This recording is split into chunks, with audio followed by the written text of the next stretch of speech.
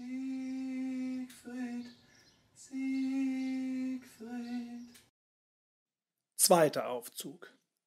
Uferraum. Vor der Halle der Giebischungen. Rechts der offene Eingang zur Halle. Links das Rheinufer. Von diesem aus erhebt sich eine durch verschiedene Bergpfade gespaltene, felsige Anhöhe, quer über die Bühne. Nach rechts, dem Hintergrunde zu aufsteigend, dort sieht man auf einen der Fricker errichteten Weihstein, welchem höher hinauf ein größerer für Wotan, sowie seitwärts ein gleicher dem Donner geweihter entspricht. Es ist Nacht. Hagen, den Speer im Arm, den Schild zur Seite, sitzt schlafend an der Halle. Der Mond wirft plötzlich ein grelles Licht auf ihn und seine nächste Umgebung. Man gewahrt Alberich vor Hagen, die Arme auf dessen Knie gelehnt. Alberich, schläfst du, Hagen, mein Sohn? Du schläfst und hörst mich nicht, den Ruh und Schlaf verriet? Hagen, leise und ohne sich zu rühren, so dass er immer fort zu schlafen scheint, obwohl er die Augen starr offen hält? Ich höre dich, schlimmer Albe. Was hast du meinem Schlaf zu sagen? Alberich, gemahnt sei der Macht, der du gebietest. Bist du so mutig, wie dich deine Mutter gebar? Hagen, gab die Mutter mir Mut, nicht doch mag ich ihr danken, dass deiner List sie erlag, frühalt, fahl und bleich. Hass ich die Frohen, freue mich nie. Alberich, Hagen, mein Sohn, hasse die Frohen, mich lustfreien, leidbelasteten, liebst du so, wie du sollst. Bist du kräftig, kühn und klug, die wir bekämpfen mit nächtigem Krieg, schon gibt ihnen Not unser Neid. Der einst den Ring mir entriss, Wotan, der wütende Räuber, vom eigenen Geschlecht ward er geschlagen, an den Welsung verlor er Macht und Gewalt. Mit der Götter ganzer Sippe, in Angst ersieht er sein End. Nicht ihn fürcht ihn mehr, fallen muss er mit allen. Schläfst du, Hagen, mein Sohn? Hagen, des ewigen Macht, wer erbte sie? Alberich, ich und du, wir erben die Welt. Trüg ich mich nicht in deiner Treu, teilst du meinen Gram und Grimm. Wotans Speer zerspellte der Welsung, der Fafner den Wurm im Kampfe gefällt und kindisch den Ring sich errang. Jede Gewalt hat er gewonnen.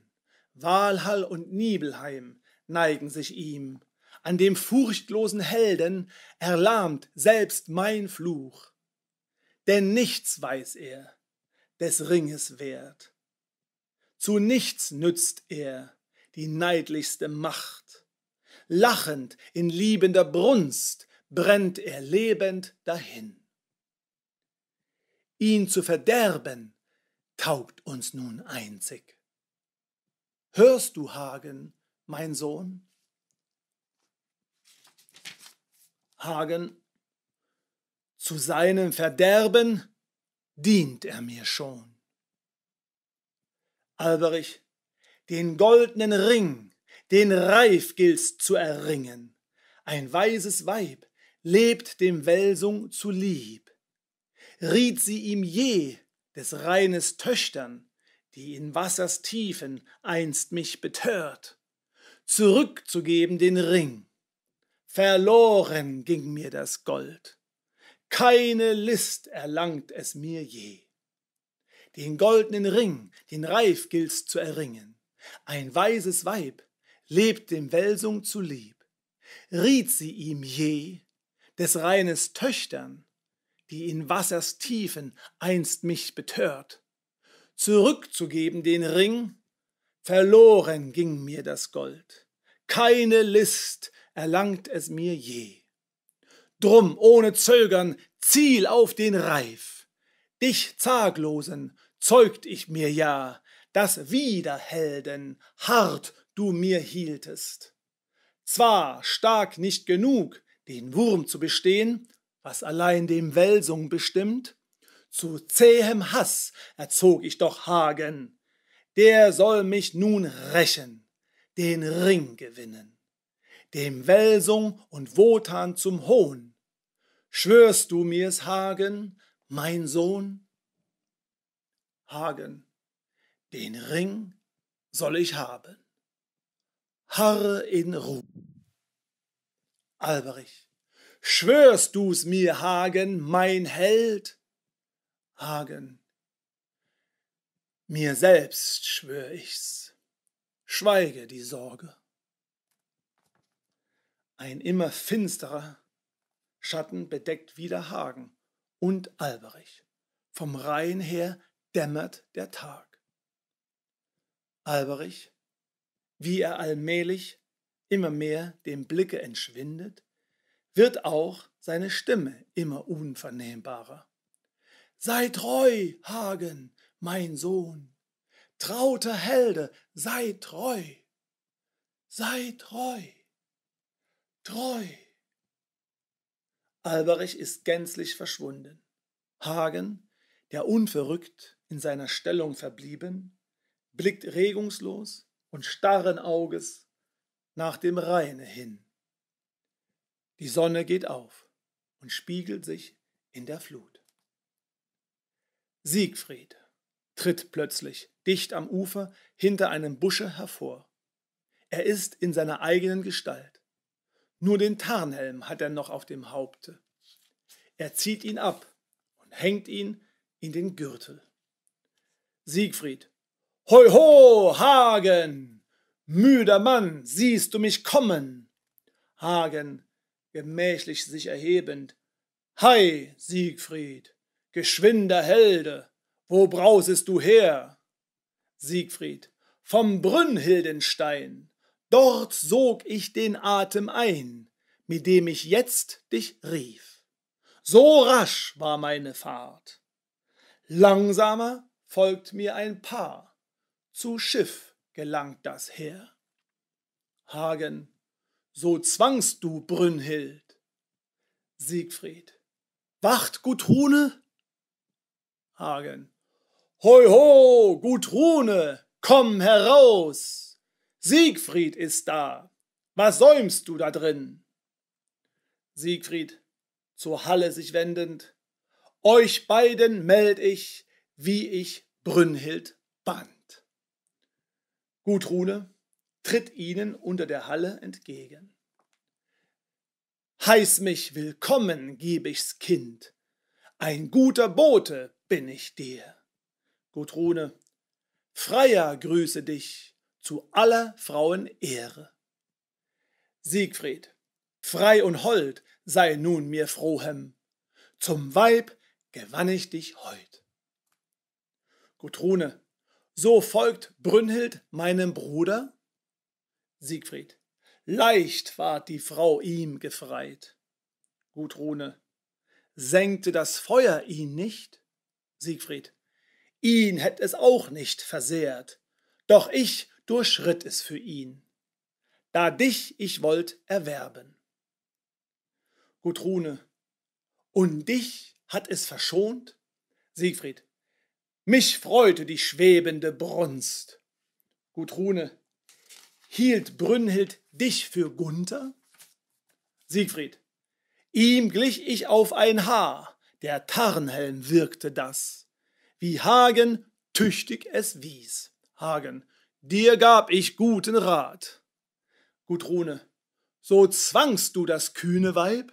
Siegfried, sie wich Gunthers Kraft. Gudrune, und vermählte sie sich dir? Siegfried, ihrem Mann gehorchte Brünnhild, eine volle bräutliche Nacht. Gudrune, als ihr Mann doch galtest du. Siegfried, bei Gudrune weilte Siegfried. Gudrune, doch zur Seite war ihm Brünnhild.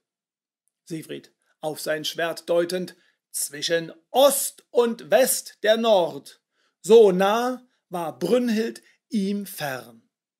Gudrune, wie empfing sie nun Gunther von dir? Siegfried, durch des Feuers verlöschende Lohe, im Frühnebel vom Felsen folgte sie mir zu Tal. Dem Strande nah, flugs die Stelle tauschte Gunther mit mir. Durch des Geschmeides Tugend wünscht ich mich schnell hierher. Ein starker Wind nun treibt die Trauten den Rhein herauf. Drum rüstet jetzt den Empfang. Gudrune, Siegfried, mächtigster Mann, wie fasst mich Furcht vor dir? Hagen, von der Höhe im Hintergrunde, den Fluss hinabspähend, in der Ferne seh ich ein Segel, Siegfried, so sagt dem Boten Dank. Gudrune, lasst sie uns hold empfahen, dass heiter und gern sie weile. Du, Hagen, minnig rufe die Mannen zur Hochzeit nach Giebigs Hof. Frohe Frauen ruf ich zum Fest, der Freudigen folgen sie gern. Nach der Halle schreitend zu Siegfried. Rastest du, schlimmer Held? Siegfried. Dir zu helfen, ruh ich aus. Er folgt ihr. Beide gehen in die Halle ab. Hagen, auf der Anhöhe stehend, stößt, der Landseite zugewendet, mit aller Kraft in ein großes Stierhorn. Hoi ho! Hoi ho! Hoi ho! Ihr Giebismannen, machet euch auf! Wehe, wehe! Waffen durchs Land, Waffen! Waffen, gute Waffen, starke Waffen, scharf zum Streit. Not, Not ist da. Not, wehe, wehe. Hoi ho, hoi ho. Er bläst abermals aus verschiedenen Gegenden vom Lande her antworten Heerhörner. Von den Höhen und aus dem Tale stürmen in Hast und Eile gewaffnete Mannen herbei. Die Mannen, erst einzelne, dann immer mehrere zusammen. Was tost das Horn? Was ruft es zu her? Wir kommen mit Wehr, wir kommen mit Waffen, mit starken Waffen, mit scharfer Wehr. Hoi ho, hoi ho! Hagen, Hagen, welche Not ist da? Welcher Feind ist nah? Wer gibt uns Streit? Ist Gunther in Not? Hagen, von der Anhöhe herab. Rüstet euch wohl und rastet nicht. Gunther sollt ihr empfahen. Ein Weib hat der gefreit. Die Mannen, drohet ihm Not? Drängt ihm der Feind? Hagen, ein freisliches Weib führt er heim. Die Mannen, ihm folgen der Magen feindliche Mannen? Hagen, einsam fährt er, keiner folgt. Die Mannen, so bestand er die Not, bestand den Kampf. Hagen, der Wurmtöter, wehrte der Not. Siegfried, der Held, der schuf ihm Heil. Die Mannen, was soll ihm das Heer nun noch helfen? Hagen, starke Stiere sollt ihr schlachten, am Weihstein fließe Wotan ihr Blut. Die Mannen, was, Hagen, was heißest du uns dann? Hagen, einen Eber fällen sollt ihr für froh, einen stämmigen Bock stechen für Donner, Schafe aber schlachtet für Fricka, das gute Ehe sie gebe. Die Mannen mit immer mehr ausbrechender Heiterkeit. Schlugen wir Tiere, was schaffen wir dann? Hagen, das Trinkhorn nehmt von trauten Frauen, mit Met und Wein wonnig gefüllt. Die Mannen, das Horn in der Hand, wie halten wir es dann? Hagen, rüstig gezecht, bis der Rausch euch zähmt, alles den Göttern zu Ehren, das Gute Ehe sie geben. Die Mannen in ein schallendes Gelächter ausbrechend, Groß Glück und Heil lacht nun dem Rhein, da der grimme Hagen so lustig mag sein. Der Hagedorn sticht nun nicht mehr, zum Hochzeitsrufer ward er bestellt. Hagen, der immer sehr ernst geblieben, nun lasst das Lachen, mutge Mannen, empfangt Gunthers Braut. Brünnhilde naht dort mit ihm. Er ist herabgestiegen und unter die Mannen getreten. Hold sei der Herren, helfet ihr treu. Traf sie ein Leid, rasch seid zur Rache. Gunther und Brünnhilde sind im Nachen angekommen. Einige der Mannen springen in den Fluss und ziehen den Kahn an das Land. Während Gunther Brünnhilde an das Ufer geleitet, schlagen die Mannen jauchzend an die Waffen. Hagen steht zur Seite im Hintergrunde. Die Mannen Heil, Heil, willkommen! Heil dir, Gunther, heil deiner Braut! Gunther, Brünnhilde an der Hand, aus dem Kahn geleitend, Brünnhild, die hehrste Frau, bring ich euch her zum Rhein. Ein edleres Weib ward nie gewonnen. Der Giebichungen Geschlecht gaben die Götter ihm Gunst. Zum höchsten Ruhm rag es nun auf. Die Mannen an die Waffen schlagend, Heil, heil dir, Gunther, glücklicher Giebichung. Brünnhilde, bleich und mit zu Boden gesenktem Blicke, folgt Gunther, der sie zur Halle führt, aus welcher jetzt Siegfried und Gudrune, von Frauen begleitet, heraustreten. Gunther, mit Brünnhilde vor der Halle anhaltend, Gegrüßt sei, teurer Held, Gegrüßt, holde Schwester. Dich seh ich froh zur Seite, ihm, der zum Weib dich gewann. Zwei selge Paare seh ich hier prangen, Brünnhild und Gunther, Gudrune und Siegfried. Brünnhilde erschrickt, schlägt die Augen auf und erblickt Siegfried. Sie lässt Gunthers Hand fahren geht heftig bewegt einen Schritt auf Siegfried zu, weicht entsetzt zurück und heftet starr den Blick auf ihn. Alle sind sehr betroffen. Mannen und Frauen, was ist ihr? Siegfried geht ruhig einige Schritte auf Brünnhilde zu. Was müht Brünnhildes Blick? Brünnhilde, kaum ihrer mächtig, Siegfried. Hier. Gudrune? Siegfried.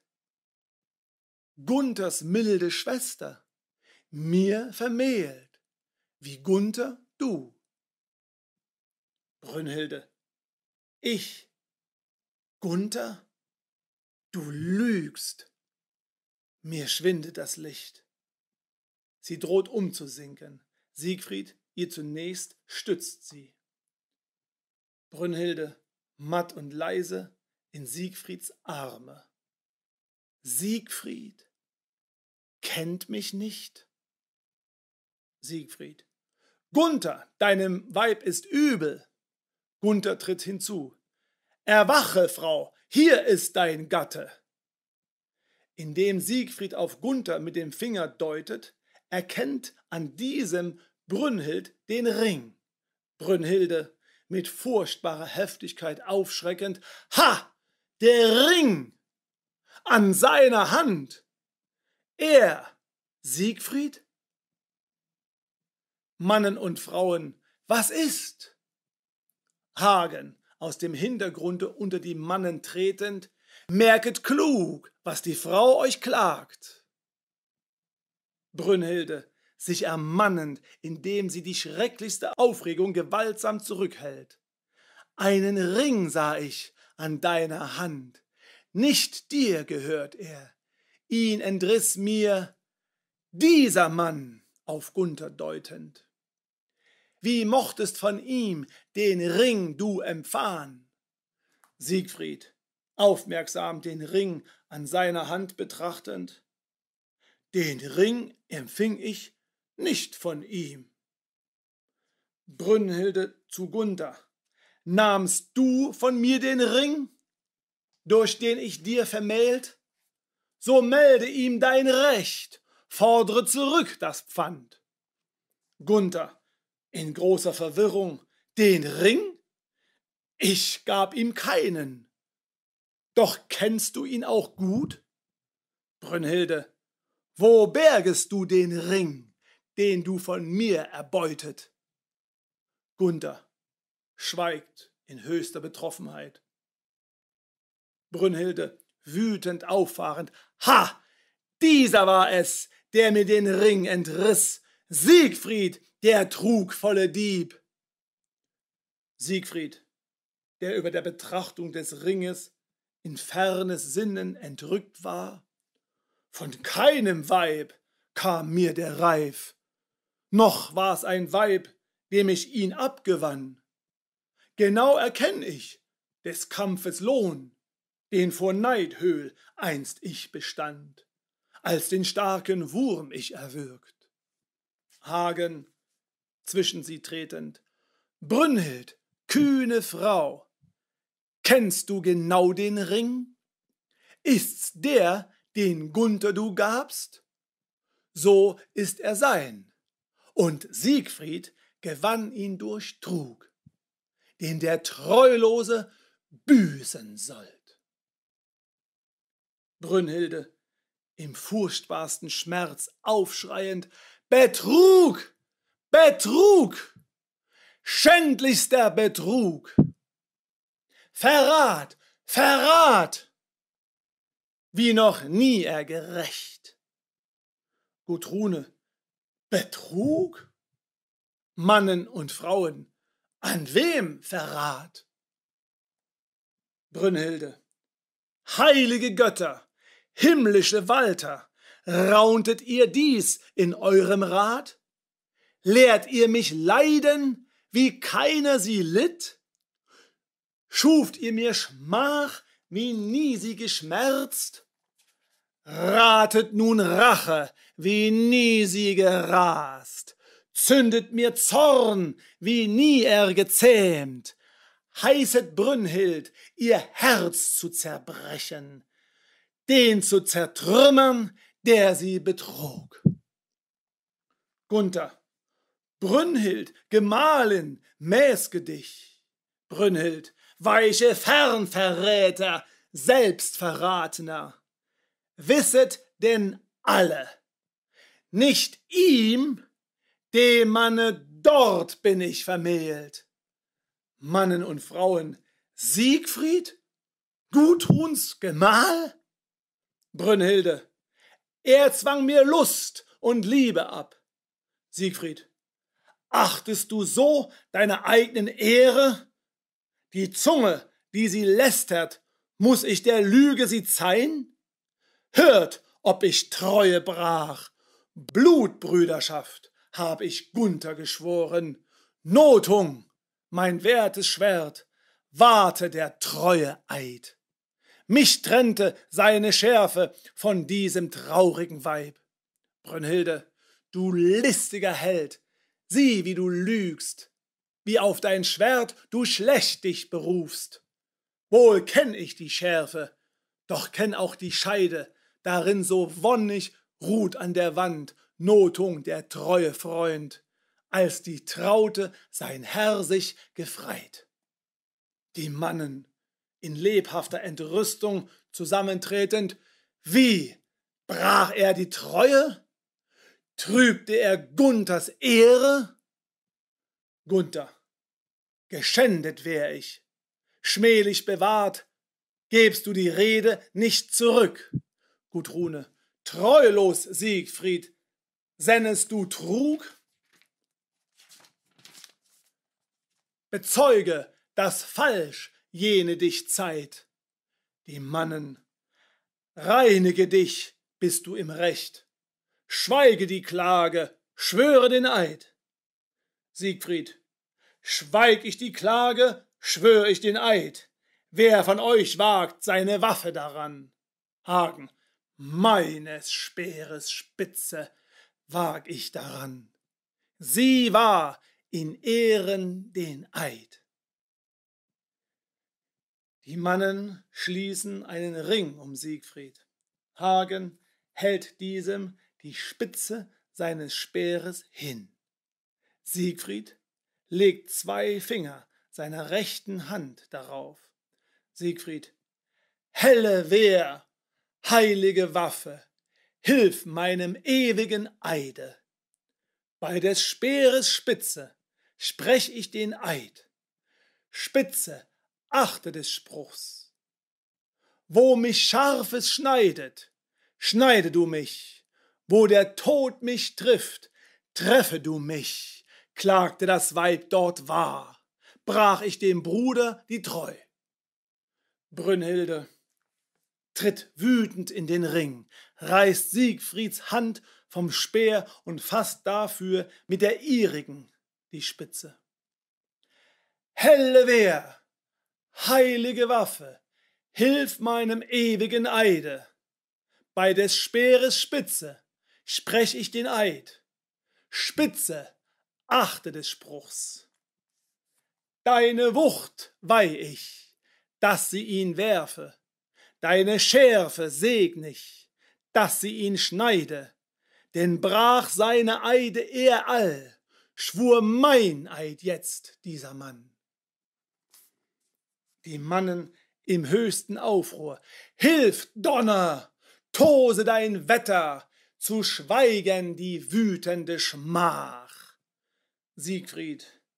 Gunther, wer deinem Weibe, das schamlos Schande dir lügt? Gönnt ihr Weil und Ruh der wilden Felsenfrau, dass die freche Wut sich lege, die eines Unholds arge List wider uns alle erregt. Ihr Mannen, kehret euch ab, lasst das Weibergekeif. Als Zage weichen wir gern, gilt es mit Zungen dem Streit. Dicht zu Gunther tretend, glaub, mehr zürn's mich als dich, dass schlecht ich sie getäuscht. Der Tarnhelm dünkt mich fast, hat halb mich nur hat halb mich nur gehehlt. Doch Frauengroll friedet sich bald. Dass dir ich es gewann, dankt gewiss noch das Weib. Er wendet sich wieder zu den Mannen. Munter, ihr Mannen, folgt mir zum Mahl. Froh zur Hochzeit helfet ihr Frauen. Wonnige Lust lache nun auf im Hof und Hain. Heiter vor allen sollt ihr heut mich sehen. Wen die Minne freut, meinem frohen Mute, tu es der Glückliche gleich. Er schlingt in ausgelassenem Übermute seinen Arm um Gudrune und zieht sie mit sich in die Halle. Die Mannen und Frauen folgen ihm nach. Brünnhilde, Gunther und Hagen bleiben zurück. Gunther hat sich in tiefer Scham und furchtbarer Verstimmung mit verhülltem Gesicht abseits niedergesetzt. Brünnhilde, im Vordergrunde stehend und vor sich hinstarrend. welches Unholds List liegt hier verhohlen? Welches Zaubers Rat regte dies auf? Wo ist nun mein Wissen gegen dies Wirrsal? Wo sind meine Runen gegen dies Rätsel? Ach, Jammer, Jammer, weh, ach, weh, all mein Wissen wies ich ihm zu. In seiner Macht hält er die Magd, in seinen Banden fasst er die Beute, die, jammernd ob ihrer Schmach, jauchzend der Reiche verschenkt. Wer bietet mir nun das Schwert, mit dem ich die Bande zerschnitt? Hagen, dicht an sie herantretend, vertraue mir, betrogene Frau. Wer dich verriet, das räche ich. Brünnhilde, an wem? Hagen, an Siegfried, der dich betrog. Brünnhilde, an Siegfried? Du? Sie lacht bitter. Ein einziger Blick seines blitzenden Auges, das selbst durch die Lügengestalt leuchtend strahlte zu mir, deinen besten Mut machte er bangen. Hagen, doch meinem Speere spart ihn sein Meineid? Brünnhilde, Eid und Meineid, müßige Acht. Nach stärkerem Späh deinen Speer zu waffnen, willst du den Stärksten bestehen. Hagen, wohl kenn ich Siegfrieds siegende Kraft, wie schwer im Kampf er zu fällen. Drum raune nun du mir klugen Rat, wie doch der Recke mir wich. Brünnhilde, o Undank, schändlicher Lohn! Nicht eine Kunst war mir bekannt, die zum Heil nicht half seinem Leib. Unwissend zähmt ihn mein Zauberspiel, das ihn nun vor Wunden gewahrt. Hagen, so kann keine Wehr ihm schaden? Brünnhilde, im Kampfe nicht, doch träfst du im Rücken ihn. Niemals, das wusst ich, wich er dem Feind, nie reicht er ihm fliehend den Rücken. An ihm drum spart ich den Segen. Hagen, und dort trifft ihn mein Speer. Er wendet sich rasch zu Gunther um.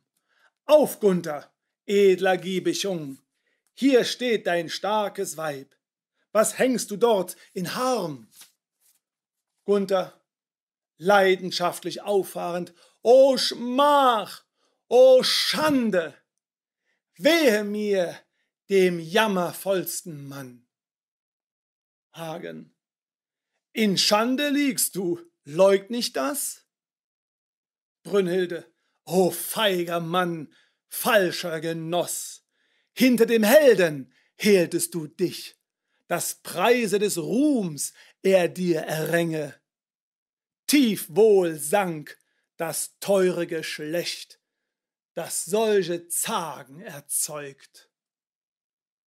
Gunther außer sich, Betrüger ich und betrogen, Verräter ich und verraten zermalmt mir das Mark, zerbrecht mir die Brust. Hilf, Hagen, hilf meiner Ehr, hilf deiner Mutter, die mich auch ja gebar. Hagen, dir hilft kein Hirn, dir hilft keine Hand, dir hilft nur Siegfrieds Tod. Gunther, Siegfrieds Tod. Hagen, nur der sühnt deine Schmach. Gunther, von Grausen gepackt, vor sich hinstarrend. Blutbrüderschaft, schwuren wir uns. Hagen, des Bundes Bruch, sühne nun Blut. Gunther, brach er den Bund? Hagen, des Bundes Bruch, sühne nun Blut. Gunther, brach er den Bund? Hagen, da er dich verriet. Gunther, verriet er mich? Brünnhilde, dich verriet er und mich verrietet ihr alle. Wär ich gerecht, alles Blut der Welt büßte mir nicht eure Schuld. Doch des einen Tod taugt mir für alle. Siegfried falle. Zur Sühne für sich und euch. Hagen, nahe zu Gunther gewendet, er falle dir zum Heile. Ungeheure Macht wird dir, gewinnst du von ihm den Ring, den der Tod ihm nun entreißt. Gunther, Brünnhildes Ring, Hagen, des Niblungen reif. Gunther, schwer seufzend, so wär es Siegfrieds Ende. Hagen, uns allen frommt sein Tod. Gunther, doch, Gutrune, ach, der ich ihn gönnte, straften den Gatten wir so, wie bestünden wir vor ihr. Brünnhilde wild auffahrend, was riet mir mein Wissen, was wiesen mich Runen? Im hilflosen Elend achtet mir's hell, Gutrune heißt der Zauber der mir den Gatten entzückt. Angst treffe sie. Hagen zu Gunther. Muss sein Tod sie betrüben, verhehlt sei ihr die Tat. Auf muntres Jagen gehen wir morgen, der Edle braust uns voran, ein Eber bracht ihn da um. Gunther und Brünnhilde, so soll es sein. Siegfried falle. Sühne er die Schmach, die er mir schuf. Eidtreue hat er getrogen. Mit seinem Blute büßt er die Schuld. Allrauner, rächender Gott, schwurwissender, Eideshort, Wotan, Wotan, wende dich her. Weise die schrecklich heilige Schar hieher zu horchen, dem Racheschwur. Hagen, so soll es sein. Siegfried falle. Sterb er dahin, der strahlende Held. Mein ist der Hort, mir muss er gehören, entrissen drum sei ihm der Ring. Albenvater, gefallener Fürst, Nachthüter, Neblungenherr, Alberich, achte auf mich, weise von neuem der Niblungen Schar, dir zu gehorchen, des Ringes Herrn. Als Gunther mit Brünnhilde heftig sich der Halle zuwendet, tritt ihnen der herausschreitende Brautzug entgegen. Knaben und Mädchen, Blumenstäbe schwingend, springen lustig voraus. Siegfried wird auf einem Schilde, Gudrune auf einem Sitze von den Männern getragen. Zugleich führen Knechte und Mägde auf den verschiedenen Pfaden des felsigen Hintergrundes Schlachtgeräte und Opfertiere, einen Stier, einen Witter und einen Bock zu den Weichsteinen, welche die Frauen mit Blumen schmücken, herbei. Siegfried und die Männer blasen auf ihren Hörnern den Hochzeitsruf. Die Frauen fordern Brünnhilde auf, sie an Gudrunes Seite zu geleiten. Brünnhilde blickt starr zu, Gut, zu Gudrune auf, welche ihr jetzt freundlich winkt. Als Brünnhilde heftig zurücktreten will, tritt Hagen rasch dazwischen und drängt sie an Gunther, der ihre Hand von neuem erfasst und sie den Frauen zuführt, worauf er selbst von den Männern sich erheben lässt.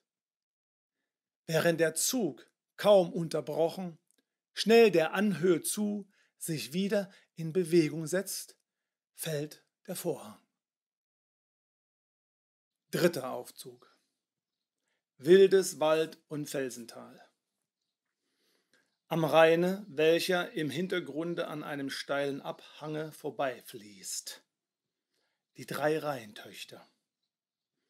Woglinde, Wellgunde und Flosshilde tauchen aus der Flut auf und schwimmen während des folgenden Gesanges in einem Kreise umher.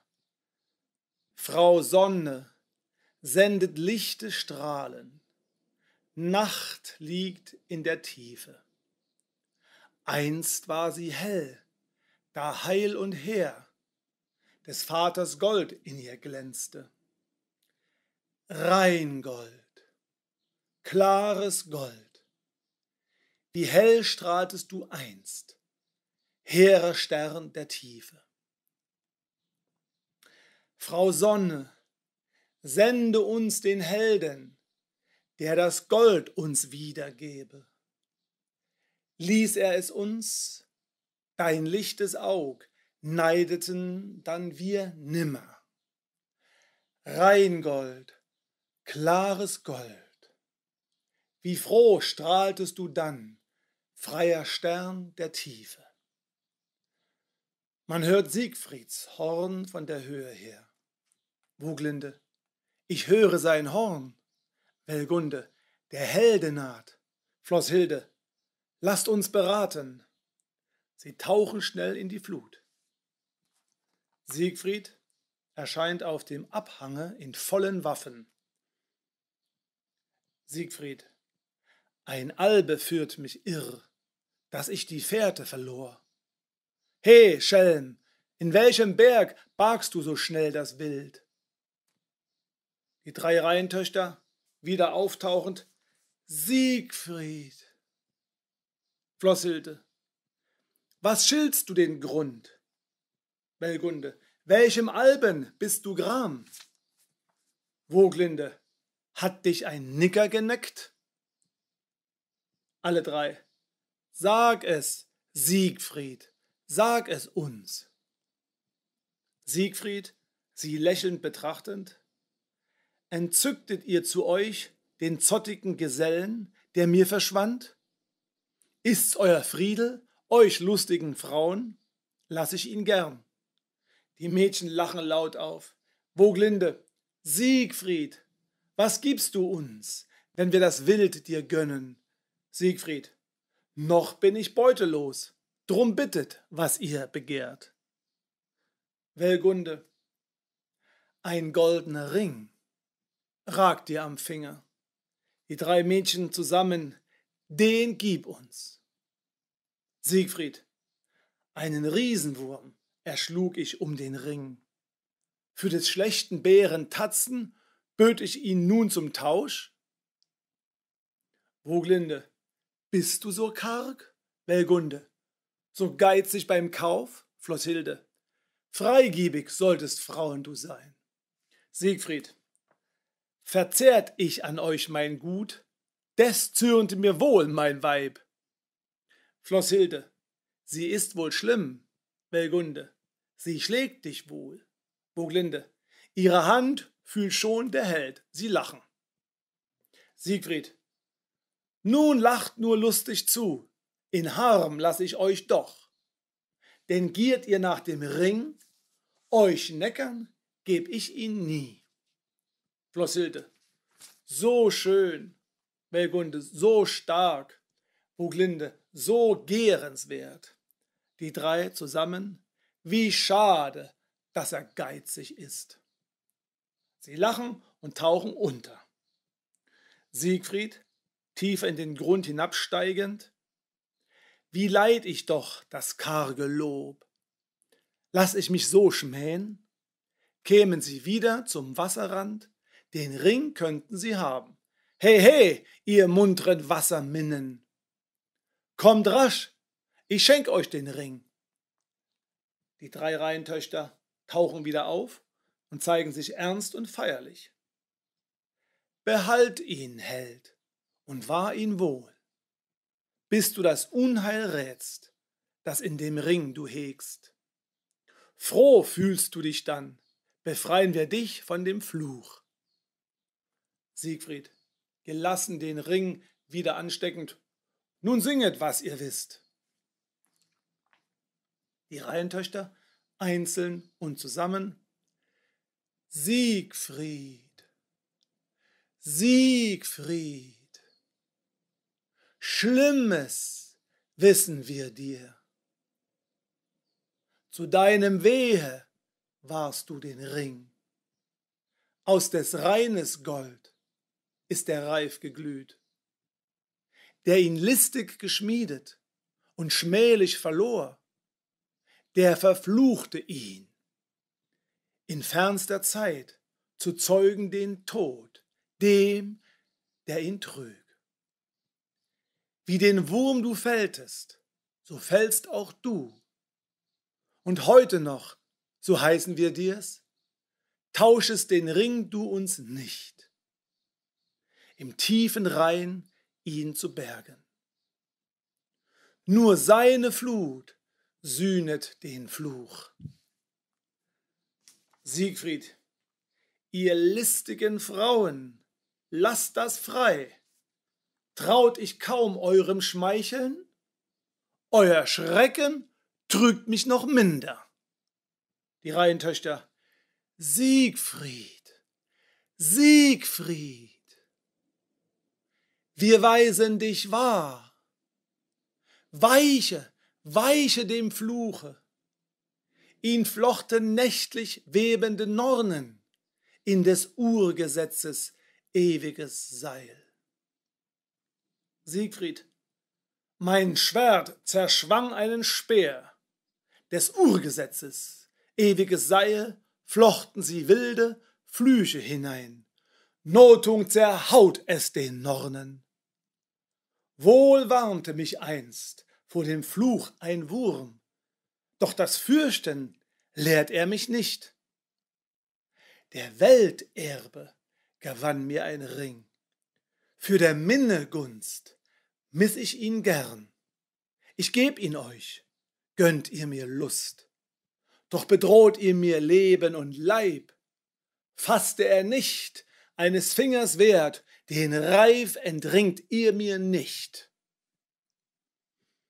Denn Leben und Leib sollt ohne Lieb in der Furchtbande bang ich sie fesseln. Leben und Leib seht, so werf ich sie weit von mir. Er hat eine Erdscholle vom Boden aufgehoben und mit den letzten Worten sie über sein Haupt hinter sich geworfen. Die Reihentöchter. Kommt, Schwestern, schwindet dem Toren. So stark und weise wähnt er sich als gebunden und blind er ist. Eide schwur er und achte sie nicht. Runen weiß er und rät sie nicht.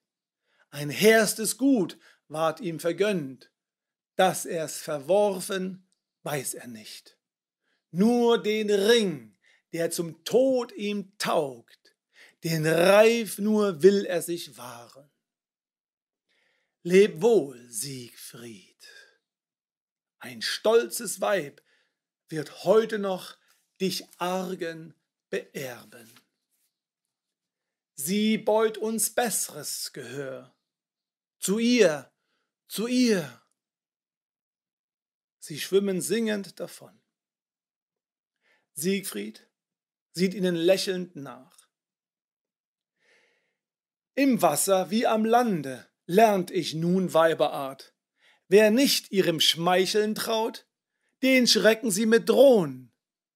Wer dem nun kühnlich trotzt, dem kommt dann ihr Keifen dran.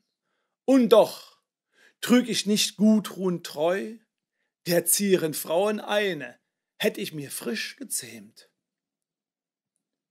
Jagdhornrüfe kommen von der Höhe näher. Siegfried antwortet lustig auf seinem Horne.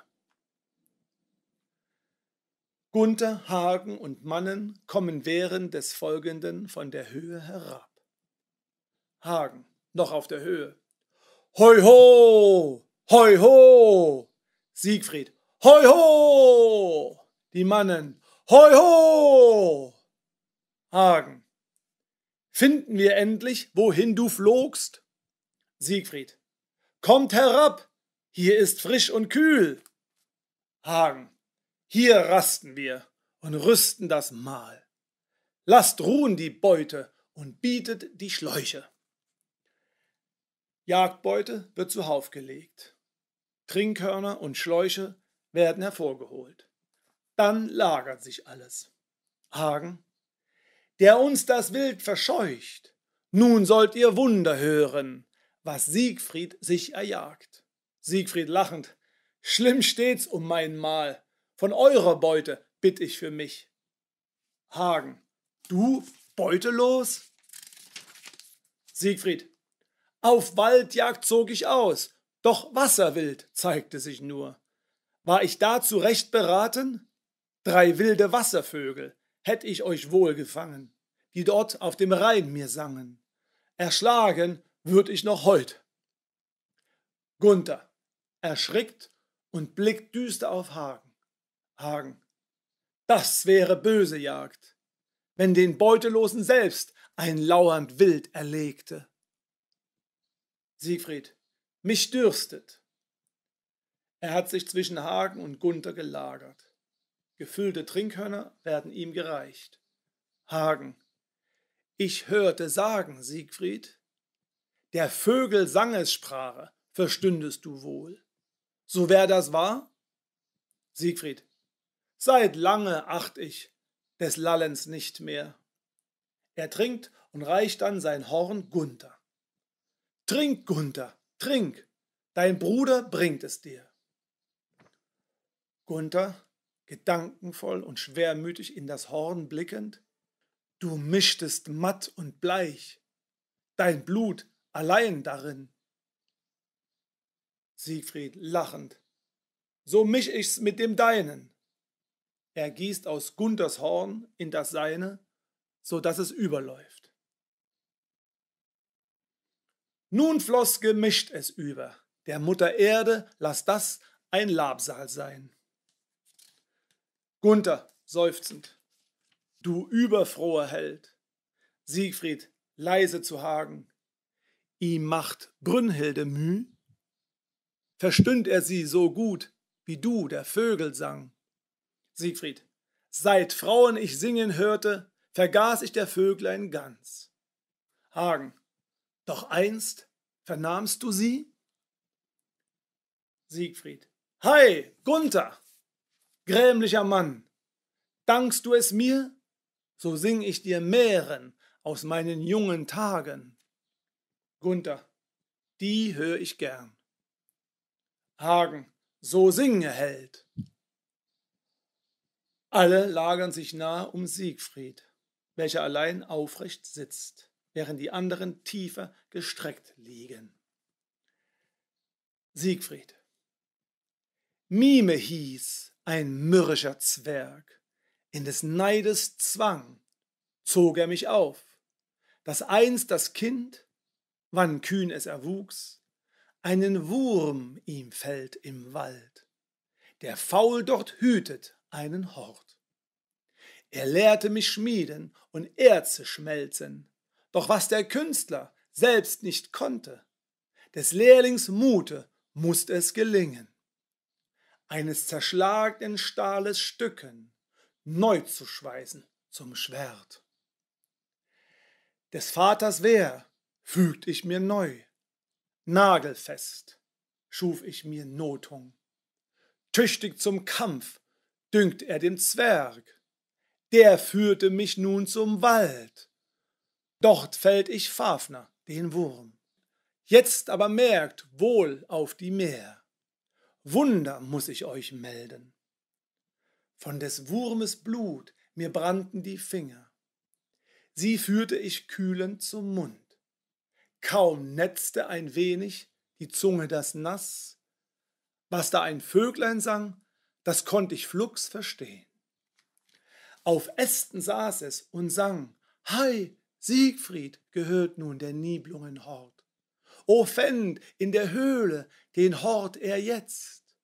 Wollt er den Tarnhelm gewinnen, der taugt ihm zu wonniger Tat.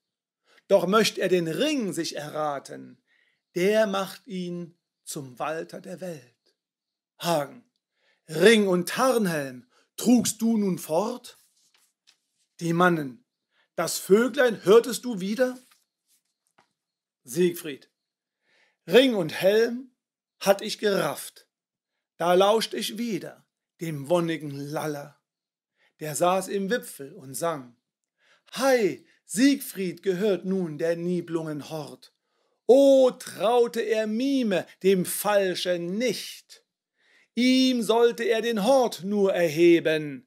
Jetzt lauert er listig am Weg. Nach dem Leben trachtet er Siegfried. O traute Siegfried nicht Mime. Hagen, er mahnte dich gut? Die Mannen, vergaltest du Mime? Siegfried, mit tödlichem Tranke trat er zu mir. Bang und stotternd gestand er mir Böses.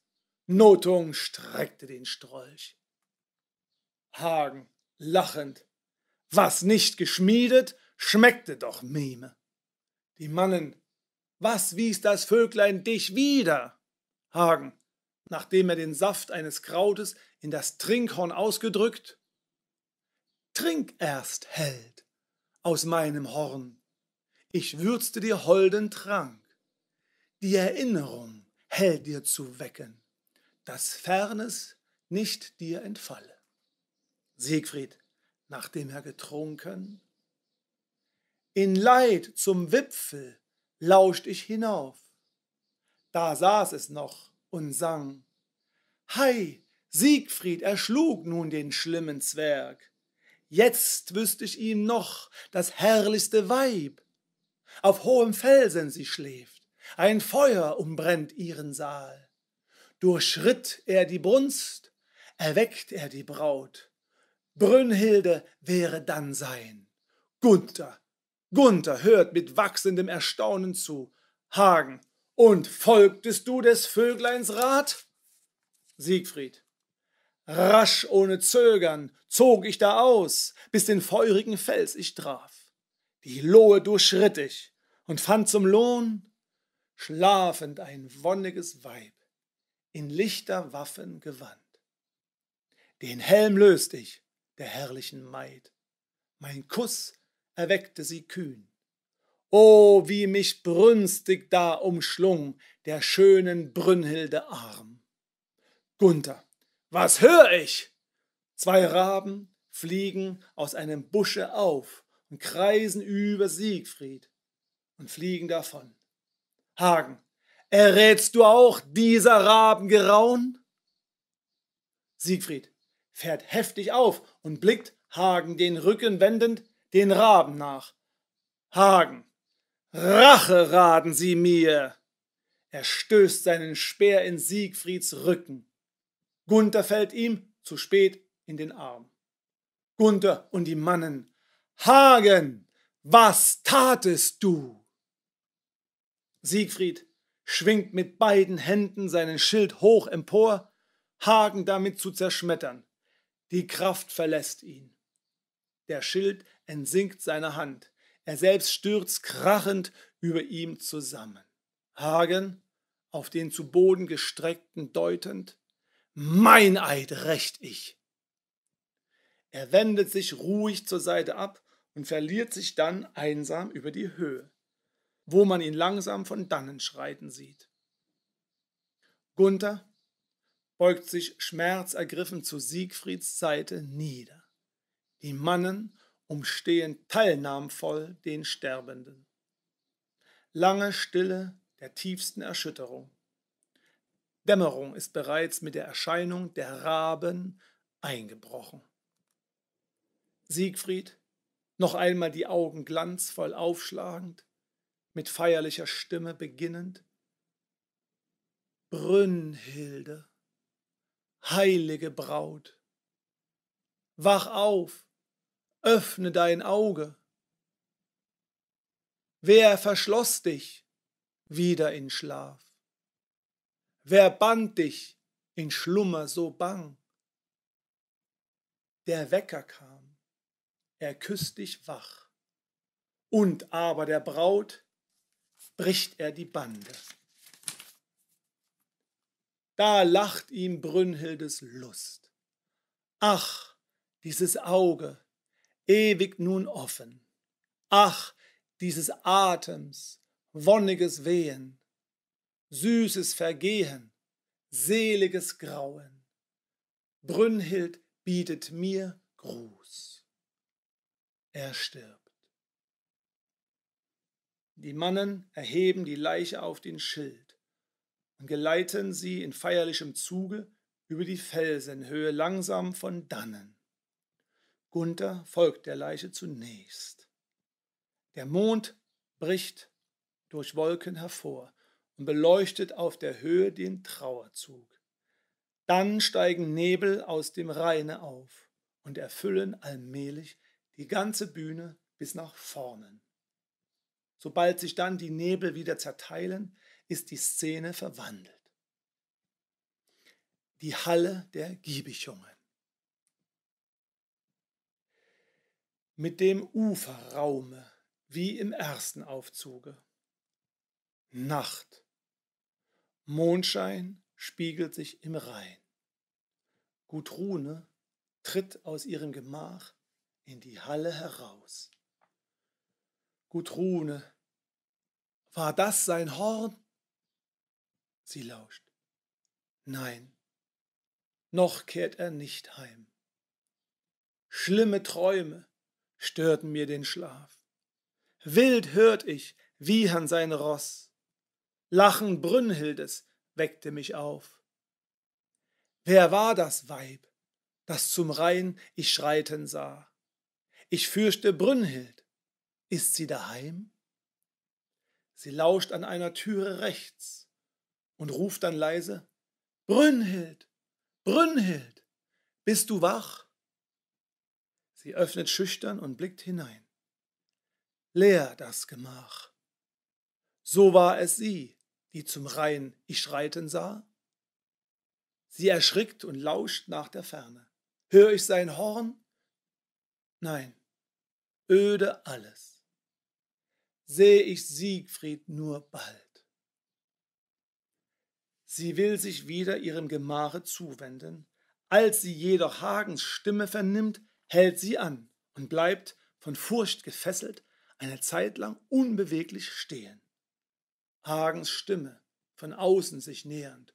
Hoi ho, hoi ho, wacht auf, wacht auf, Lichte, Lichte. Helle Brände, Jagdbeute bringen wir heim. Hoi ho, hoi ho. Licht und wachsender Feuerschein von außen. Hagen in die Halle tretend. Auf, Gudrun! Begrüße Siegfried, der starke Held, er kehret heim. Mannen und Frauen mit Lichten und Feuerbränden begleiten in großer Verwirrung den Zug der mit Siegfrieds Leiche heimkehrenden unter denen Gunther. Gudrune in großer Angst. Was geschah, Hagen? Nicht hört ich sein Horn. Hagen, der bleiche Held, nicht bläst er's mehr. Nicht stürmt er zum Jagen, zum Streite nicht mehr, noch wirbt er um wonnige Frauen. Gudrune mit wachsendem Entsetzen. Was bringen die? Hagen, eines wilden Ebers Beute, Siegfried, deinen toten Mann. Gudrune schreit auf und stürzt über die Leiche hin, welche in der Mitte der Halle niedergesetzt ist. Allgemeine Erschütterung und Trauer. Gunther, indem er die Ohnmächtige aufzurichten sucht, Gudrune, holde Schwester, hebe dein Aug, schweige mir nicht. Gudrune wieder zu sich kommend, Siegfried, Siegfried erschlagen! Sie stößt Gunther heftig zurück. Fort, treuloser Bruder, du Mörder meines Mannes! O Hilfe, Hilfe, wehe! Sie haben Siegfried erschlagen. Gunther, nicht klage wider mich, dort klage wider Hagen. Er ist der verfluchte Eber, der diesen Edlen zerfleischt. Hagen, bist du mir gram darum? Gunther, Angst und Unheil greife dich immer. Hagen, mit furchtbarem Trotze herantretend, ja denn, ich hab ihn erschlagen. Ich, Hagen, schlug ihn zu Tod. Meinem Speer war er gespart, bei dem er Meineid sprach. Heiliges Beuterecht hab ich mir nun errungen. Drum fordre ich hier diesen Ring. Gunther, zurück! Was mir verfiel, sollst du nimmer empfahen. Hagen, ihr Mannen, richtet mein Recht. Gunther, rührst du an Gudruns Erbe, schamloser Albensohn? Hagen, sein Schwert ziehend, des Alben Erbe fordert so sein Sohn. Er dringt auf Gunther ein, dieser wehrt sich, sie fechten. Die Mannen werfen sich dazwischen. Gunther fällt von einem Streiche Hagens tot darnieder. Hagen, her den Ring! Er greift nach Siegfrieds Hand. Diese hebt sich drohend empor. Allgemeines Entsetzen. Gudrune und die Frauen schreien laut auf. Vom Hintergrunde her schreitet Brünnhilde fest und feierlich dem Vordergrunde zu. Brünnhilde noch im Hintergrunde. Schweigt eures Jammers jauchzenden Schwall.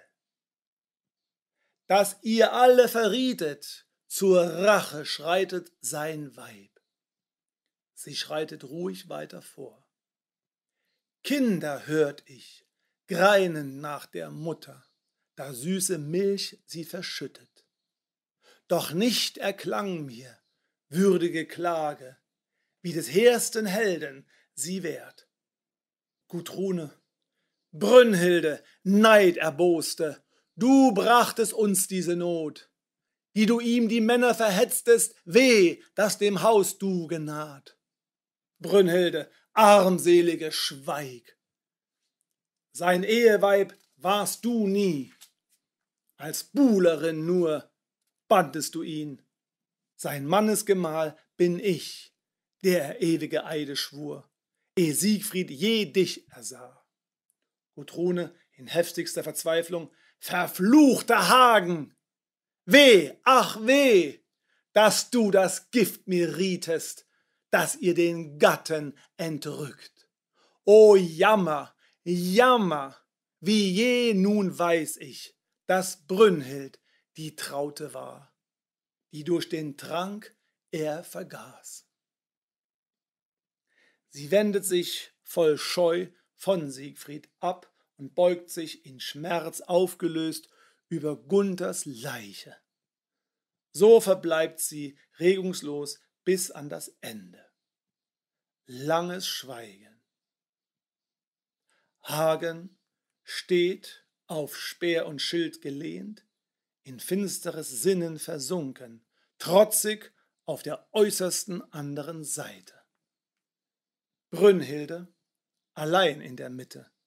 Nachdem sie lange, zuerst mit tiefer Erschütterung, dann mit fast überwältigender Wehmut das Angesicht Siegfrieds betrachtet, wendet sich mit feierlicher Erhebung an die Männer und Frauen. Starke Scheite schichtet mir dort am Rande des Rheins zuhauf. Hoch und hell lodre die Glut, die den edlen Leib des hehrsten Helden verzehrt. Sein Ross führet daher, dass mit mir dem Recken es folge. Denn des Helden heiligste Ehre zu teilen, verlangt mein eigener Leib. vollbringt Brünnhildes Wunsch. Die jüngeren Männer errichten während des Folgenden vor der Halle, nahe am Rheinufer, einen mächtigen Scheithaufen. Frauen schmücken ihn mit Decken, auf die sie Kräuter und Blumen streuen. Brünnhilde, von neuem in den Anblick der Leiche versunken, wie die Sonne lauter strahlt mir sein Licht. Der reinste war er, der mich verriet.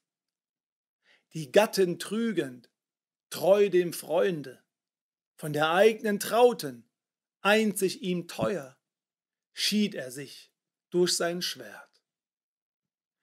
Echter als er schwur keiner Eide, treuer als er hielt keiner Verträge, lautrer als er liebte kein anderer, und doch alle Eide, alle Verträge, die treueste Liebe trug keiner wie er. Wisst ihr, wie das ward? O ihr, der Eide heilige Hüter, lenkt euren Blick auf mein blühendes Leid. Erschaut eure ewige Schuld. Meine Klage hör, du herrster Gott. Durch seine tapferste Tat, dir so tauglich erwünscht, weitest du den, der sie gewirkt, des Verderbens dunkler Gewalt. Mich musste der Reinste verraten, das wissend würde ein Weib. Weiß ich nun, was dir frommt? Alles, alles, alles weiß ich, alles ward mir nun frei. Auch deine Raben hör ich rauschen, mit bang ersehnter Botschaft send ich die beiden nun heim. Ruhe, Ruhe, du Gott. Sie winkt den Mannen, Siegfrieds Leiche aufzuheben und auf das Scheidgerüste zu tragen. Zugleich zieht sie von Siegfrieds Finger den Ring, betrachtet ihn während des Folgenden und steckt ihn endlich an ihre Hand. Mein Erbe nun nehm ich zu eigen. Verfluchter Reif, furchtbarer Ring. Dein Gold fass ich und geb es nun fort. Der Wassertiefe, weise Schwestern, des Rheines schwimmende Töchter, euch dank ich redlichen Rat. Was ihr begehrt, geb ich euch. Aus meiner Asche nehmt es zu eigen. Das Feuer, das mich verbrennt, reinge den Ring vom Fluch. Ihr in der Flut löset ihn auf und lauter bewahrt das lichte Gold, den strahlenden Stern des Rheins, der zum Unheil euch geraubt. Sie wendet sich nach hinten, wo Siegfrieds Leiche bereits auf dem Gerüste ausgestreckt liegt und entreißt einem Manne den mächtigen Feuerbrand. Fliegt heim, ihr Raben, raunt es eurem Herrn, was hier am Rhein ihr gehört. An Brünnhilds Felsen fahret vorbei, der dort noch lodert, weiset Loge nach Walhall, denn der Götter Ende dämmert nun auf. So werf ich den Brand in Walhalls prangende Burg. Sie schleudert den Brand in den Holzstoß, der sich schnell hell entzündet. Zwei Raben sind vom Ufer aufgeflogen und verschwinden nach dem Hintergrunde zu.